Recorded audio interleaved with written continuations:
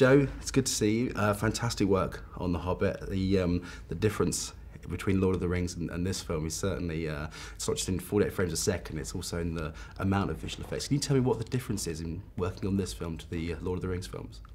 Well, yeah, there's a number of differences. 48 frames is the most obvious one, in addition to the fact that we shot it in stereo. So, a lot of the things that back when we were doing The Lord of the Rings, we could kind of cheat to get away with. Uh, from a visual effects point of view, you can't cheat when there's stereo anymore or when there's 48 frames. Yeah, stereo means that, uh, like forced perspective tricks that we used to use, like you know, if you want Gandalf to look bigger than you know Frodo, you just made him closer to camera and Frodo farther away that doesn't work anymore when you've got stereo because now you can actually see how far apart they are. So we had to come up with new tricks to do like dynamic forced perspective with you know two sets of cameras working simultaneously, two different stages and two different scales. Um, uh, just a lot more detail in the computer graphics effects that we used. In fact, to the point where, again, because of stereo, we didn't use any miniatures on this film because um, again, some of those tricks get given away when you when you have stereo, and so we went with digital models because we could just make them be full scale, you know, in, in the digital world. So there were a lot of things like that. The characters have much more detail than we ever knew how to do 10 years ago. If you look at a character like Gollum, you know, the eyes and the skin, the, the teeth, the muscles, all that detail um, is, is just much more uh, defined than was ever possible 10 years ago. And that carries through to all the other characters as well. So do you think that the fact that it's 48 frames a second, because when I saw it yesterday, there was uh, the clarity is, is incredible. Mm. Um, do you think that has a, an additional pressure on you to make sure that everything's right? Or has the technology in terms of graphics advanced so much that that's easier to do?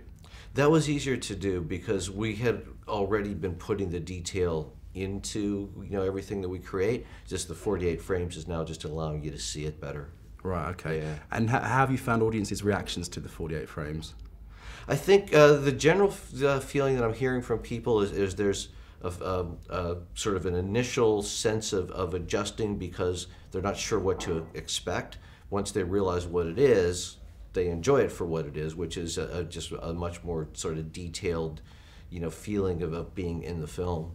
Do you think it's a case of immersion? Is is, is, is that what you and Peter Jackson are, are trying to do? It's just a case of using every kind of technology to immerse the viewer in the film. Exactly. It's just closer to how you see things, you know, uh, really with your eyes, and it's just trying to give you more of that experience with sure. the film. That's yeah. how I felt. I, th- yeah. th- there were times that I thought the difference between film yeah. and uh, and this new 48 frames a second is astonishing, and I think I hope that people buy into it. That's my hope anyway. Mm. Um, in terms of uh, the motion capture, you obviously worked with Andy Serkis on, on, on the Rise of the Planet of the Apes, and mm. continuing to do that in in the next Apes film. Do you think that the technology has changed uh, very much with that, or is it mainly that people are more used to it, or you're more used to seeing motion capture sort of translated to screen? Well, there's two sides to it. There's the motion capture side, which is really just about how you record the motion, and that has evolved ever since we did Gollum. In fact, when we did Gollum, we weren't even sure that it would work. But you know, over the years, we've developed techniques for doing facial animation and facial capture, uh, like what we did with Avatar. Mm. Uh, or you know on Tintin where you're doing this whole ensemble performance and, and as you say Rise of the Planet of the Apes allowed us to move that technology onto a live action set and have the two fully integrated, which is what we continue to do with The Hobbit. So, from a capture point of view, it means that the actors can, can just be immersed in the scene and not worry about if one of them is playing a digital character or not. That, that barrier you know, goes away. On the, the, the character side, the animation side, we've learned a lot more about you know what we can take from that performance and what we can use to translate to create the character that we're trying to put up on the screen. Okay, yeah. so I mean, in terms of, of the next Apes films, uh, are there sort of significant advances from how you shot um, the Rise of the Planet of the Apes film? Well, as far as how we shot it, you know, probably not going to change too much because we're already getting pretty significant mm. detail. Mm.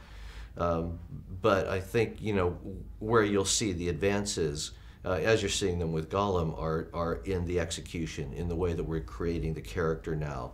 Because again, the recorded data is really just part of it, but now we can we can uh, do just uh, such a, a, better job of understanding, you know, how the human body works, and then mm. just translate that into these fantasy characters that we create, especially when they're more human-like, like a character like Gollum is.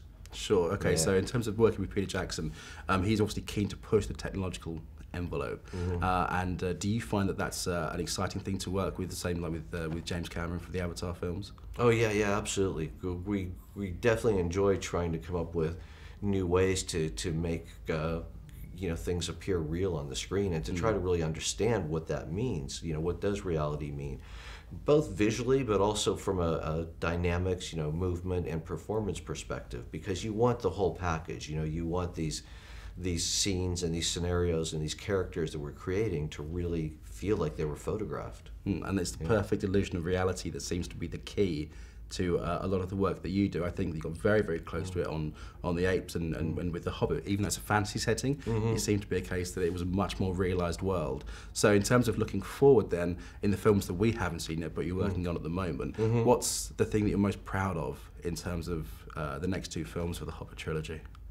We really are just getting underway with it, so I couldn't really tell you too much. But I could just tell you that it, it, it is going to come down to the creative, you know, to the characters, to, to those moments that work on screen, where where all the technology is sort of is firing in a way that you no longer think about it, but you're just enjoying something that you've never seen before.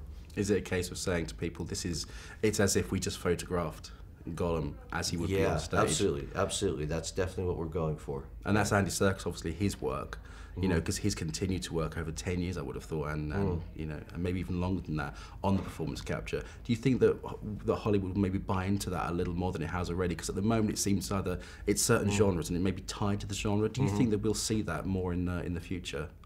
I think you will see it more in the future, but it depends completely on the character. Hmm. Because if you've got a human character, there's very little reason to just not use an actor. Sure. It's more if you're creating some element of fantasy to that character.